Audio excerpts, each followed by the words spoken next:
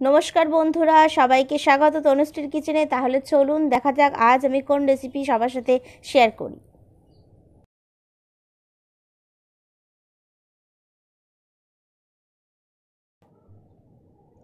আজ আমি করব মোগলাই পরোটা, যা খেতে সত্যি খুবই সুস্বাদু। দোকানের মোগলাই পরোটার চেয়ে অবশ্যই হেলদি আপনি যদি নতুন হন তাহলে আমার চ্যানেল সাবস্ক্রাইব করার অনুরোধ রইল। আর যদি আমার নিত্য নতুন রেসিপি পেতে চান, তাহলে সাবস্ক্রাইবের পাশে বেল আইকন আছে, ওটাকে প্রেস করে দিন।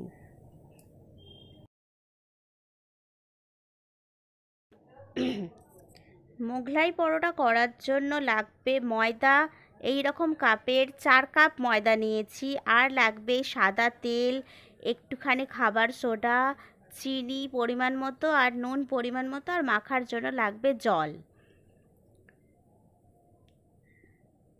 আর পুরের জন্য লাগবে গাজর, ডিম, পেঁয়াজ, গোলমরিচ গুঁড়ো আর কাঁচা লঙ্কা। প্রথমে ময়দা মেখে নিতে হবে। ময়দা মাখার জন্য লাগবে চার কাপ ময়দা।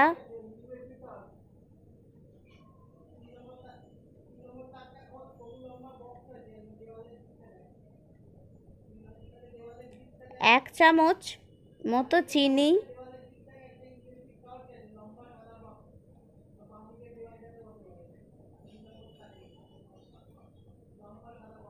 চার চামচ সাদা তেল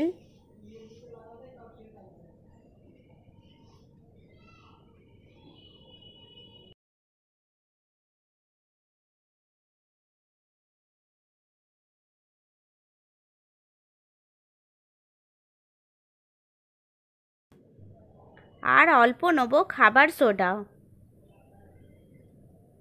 আর আমি মোটামুটি বারোটা মোগলাই পরোটার মতো সব উপকরণ নিয়েছি, আপনারা কম করলে কম নেবেন, সব কিছুই কম করে নেবেন।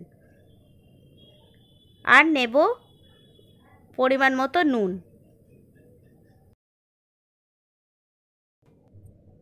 এবারে ময়দা খুব ভালো করে মিশিয়ে নিতে হবে।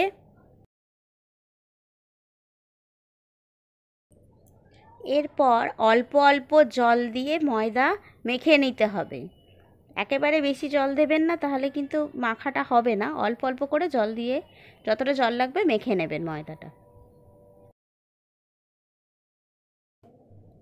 ময়দা মাখা হয়ে গেছে, এরকম নরম হবে ময়দা।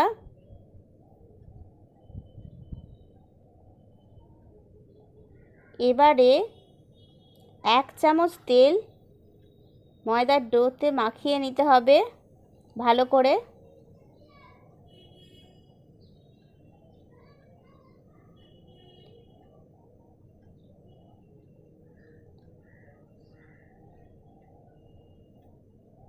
তারপর ঢাকা দিয়ে রেখে দিন।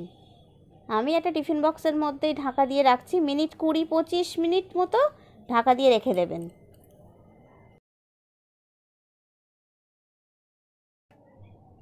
মোগলাই পরোটার পুরের জন্য গাজর গ্রেট করে নিতে হবে। আর পেঁয়াজ যতটা পাতলা আর সরু ছোটো ছোটো টুকরো করা যায় ওরকম করে নিতে হবে। আর কাঁচা লঙ্কা কুচি। কেউ যদি ঝাল কম খেতে চায়, তাহলে কম লঙ্কা দেবেন। হাফ চামচের একটু বেশি নুন দিচ্ছি। বেশি নুন দেবো না, কারণ ডিমের মধ্যে আবার আমি নুন দেব। বেশি নুন হলে কিন্তু খেতে ভালো লাগবে না। এবার গোলমরিচ গুঁড়ো দিয়ে দিলাম।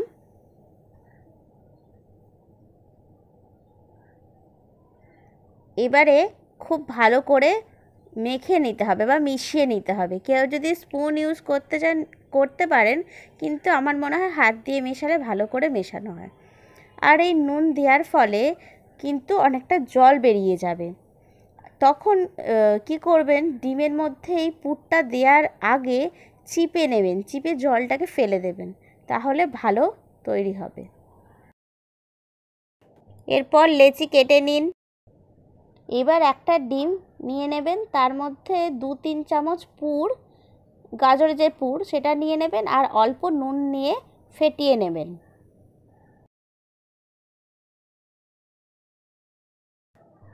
এবার লেচিগুলো নিয়ে বেলতে হবে পাতলা পাতলা করে, যতটা সম্ভব বড় করা যায়। এরকম পাতলা বড় বড় করে বেলে নিয়ে এর মধ্যে পুর দিতে হবে। পুরটা ঠিক এরকমই গাঢ় গাঢ় হবে। এবারে একবার এই ধারের দিক মুড়ে, আবার একবার ওই ধারের দিক মুড়ে দিতে হবে। তারপর তারপর ওপরের দিক মুড়ে নিতে হবে আর নিচের দিক মুড়ে নিতে হবে। এরকম হবে দেখতে। এবার কড়া বসিয়ে সাদা তেল দিয়ে দিন। কড়া গরম হলে আঁচ কমিয়ে দেবেন। এবার কড়ায় পরোটা দিয়ে দিন। কম আঁচেই কিন্তু ভাজতে হবে, বেশি জোরে আঁচ করলে কিন্তু পরোটা ভালো ভাজা হবে না।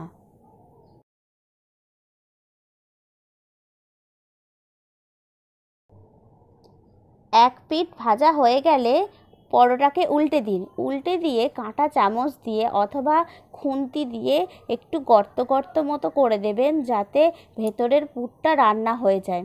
না হলে কিন্তু কাঁচা থেকে যাবে, খেতে কিন্তু ভালো লাগবে না। ভেতরটা পুরো নরম নরম থেকে যায়। আবার ঘুরিয়ে দেবেন। ঘুরিয়ে আর এক পিঠ আপনি ওই সেমভাবেই কাঁটা চামচ অথবা খুন্তি দিয়ে ফুটো ফুটো করে নেবেন। রেডি আমাদের মোগলাই পরোটা